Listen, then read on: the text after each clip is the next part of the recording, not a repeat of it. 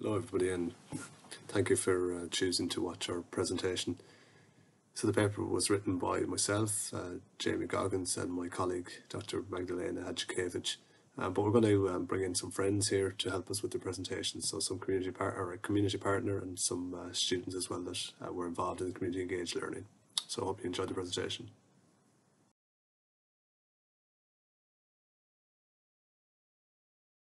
It's important that universities are part of the community and they can um, educate new responsible citizens who are aware of their communities, of the needs and challenges of the communities, and can help help them uh, face those challenges. I think it's important for the university to engage with the community as it gives a chance for uh, students and community partners to learn from each other. Um, so you get to use university knowledge and community experience and try and come up with real world um, solutions to problems. By engaging with the local communities, they feel like they are being appreciated. And the university is just not just an institution that just do education. They have to know the university is ready to contribute to them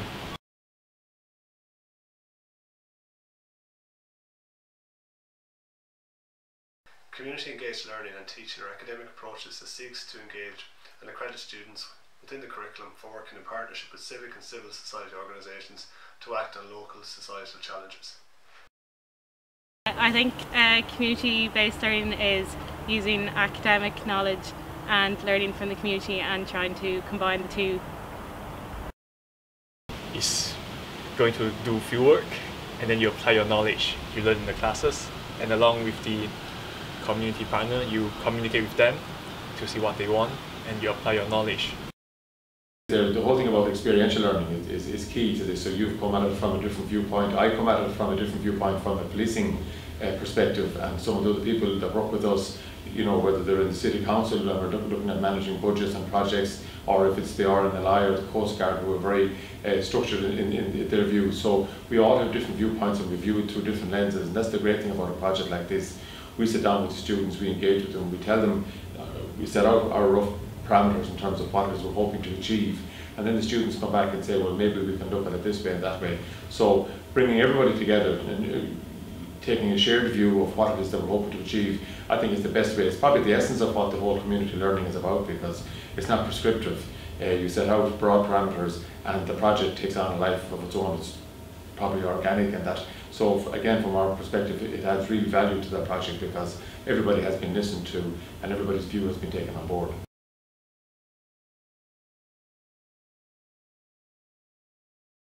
I think it was good to learn about the local area and take more like responsibility from the community, like be more responsible like citizen within the community.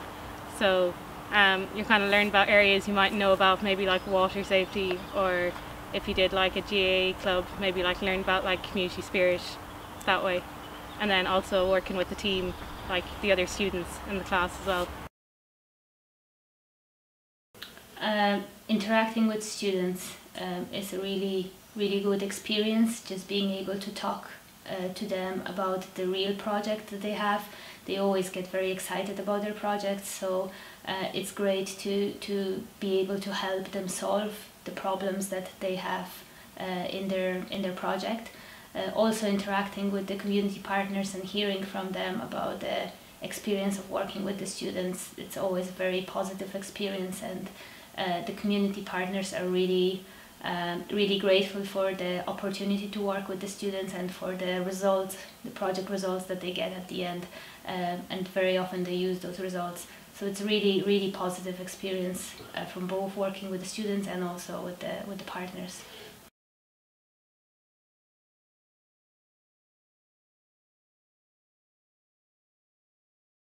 This is the process that we go through for the community engaged building engineering project and we go through each of these steps now one by one.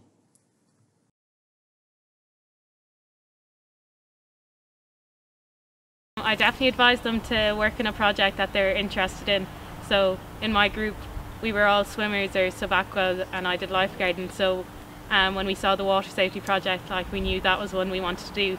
And then because we were interested in it, we put in more effort and kind of got more, like learned more from our project. So benefit both us and like the community partners in the end.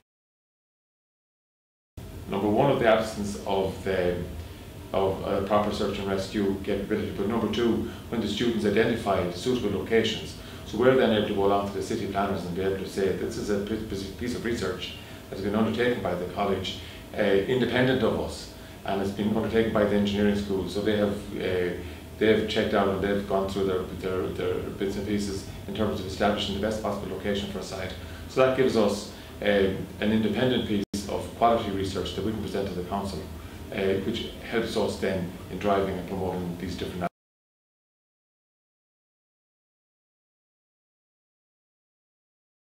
obviously want, we wanted a good project, we wanted to do something a bit different.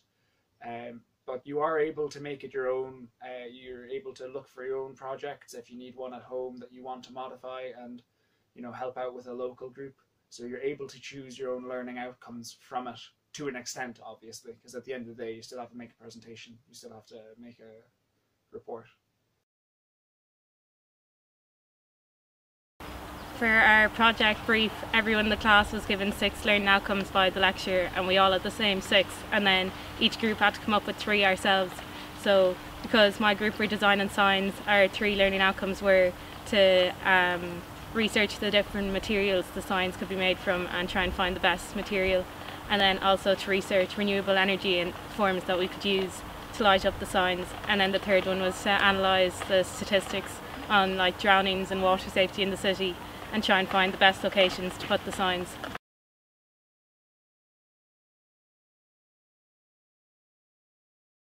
If we didn't have that, um, like the expectations mightn't have been as high for either the community partner or for the group, so we mightn't have put in as much effort, whereas we knew that the community partner had high expectations as the group ahead of us had done really well like the year before with a similar project so it kind of helped to push us to keep moving on it.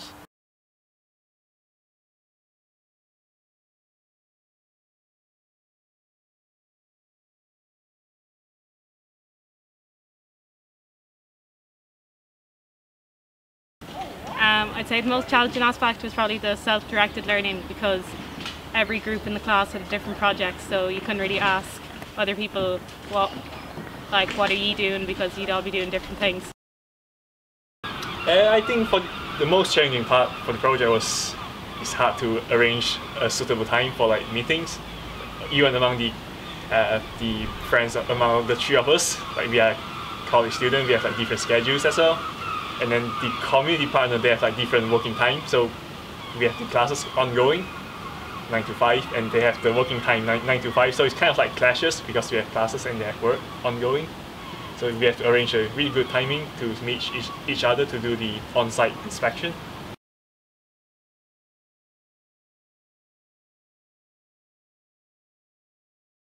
Uh, the Droplet clinics were really useful because you could ask PhD students more specific uh, questions that would be specific to your project. So I know for us we had to design foundations and we hadn't done that yet in concrete or steel.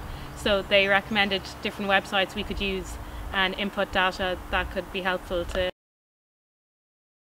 So yeah, from the start, uh, we were able to get help from master students, which was really useful because we wanted to do something a bit different with our project, and they had the experience uh, with the software that we wanted to use. Uh, also, we were given lots of different case studies of previous projects that had been done by students, so you get a good idea of what has come before, sort of similar ideas that you could build on, or if something had never been done before, you could get an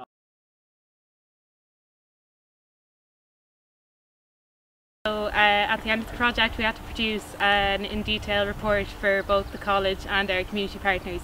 And we had to present this on a certain date and then the week after that we had to give a 15 minute presentation for uh, the university and then um, we had like questions and answers after that why we decided to do certain things in the project so maybe like what why did we choose a certain material or a certain lighting system for the signs or why like certain locations. So we had to be able to back up like our choices along the way with the project. So we were based on two main things. One was project writing and the other was a presentation that we had to make to our lecturers and a few different master students. Um, it was good because in this project, uh, I, you actually get to choose what you want to do, uh, how you're going to solve these issues. So writing the report was a lot more interesting because it's not something that we were told how to go about it. It was something that I felt like I'd become like an expert in a really niche subject for a few weeks. So writing the report was actually quite fun because I was getting all this information out of my head onto a page and realized what I'd learned in the last few weeks.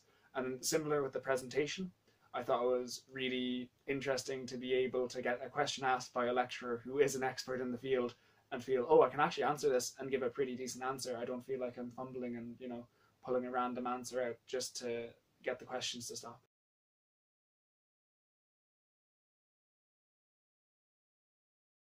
If they thought they put in a lot of work, they might have said very good with learning outcomes or like the solutions they came up with. And then also the lecturer had a similar sheet and they filled in how they thought the student did. So from very good to maybe not so good. And then at the end you got the two sheets back so you could compare um, kind of what how you thought you did to how the lecturer thought you did. So it was good to get some feedback.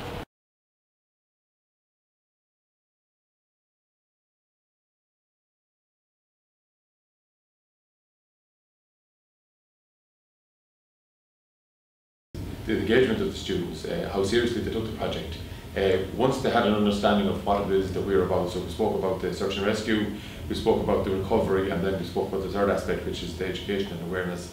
And uh, some of the projects that they've undertaken have fallen into either of those three strands. So when we tell them why the focus of our attention is in this particular issue, uh, and the reason for us then is that we can go back then to our partners in the likes of Galway City Council or to the RNLI or to the Coast Guard for example, when we did the, a recent study was on the, suitability of uh, a particular site above the Salmon Weir Bridge in Galway for, a, for an additional uh, search and rescue centre so be able to launch a boat from. That was a very, very practical and real um, uh, engagement with the student body, which, if it comes to fruition, would provide a fantastic asset to search and recovery in the Galway area.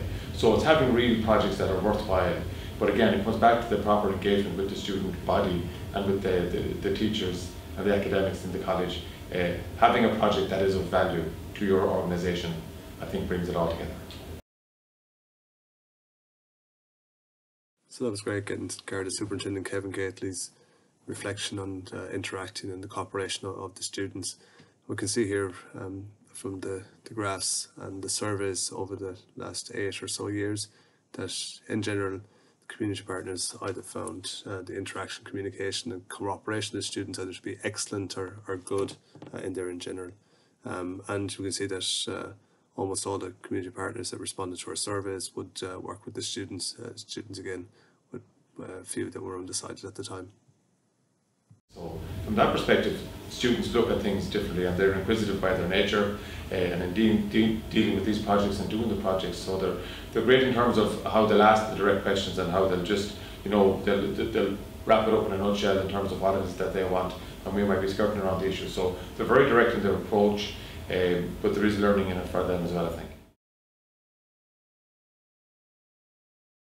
So the feedback from the community partners over the years is that they find the reports to be generally either very useful or, or useful and that many of the community partners will carry out the recommendations from the students. That's very interesting considering that the students are only in their second year of their engineering degree programme um, with not a lot of practical experience at, at that stage. So kind of say if you empower the students, it's amazing what they can what they can deliver.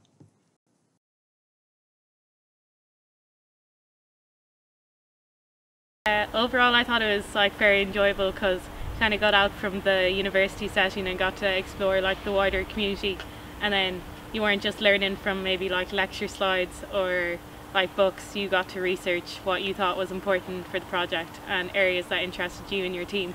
So it was nice that like you got to do work that you were really interested in whereas sometimes you kind of had to do work just for exams and you mightn't really be too in interested in it. So I thought that was nice part of the module Practically a very, really, really good experience for me. I learned loads of stuff, like assessing the buildings, everything, and to the writing of the report, how we did the modeling, finding the rec best recommendation for them.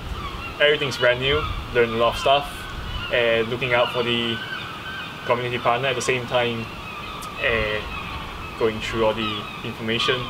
It's a bit of good experience.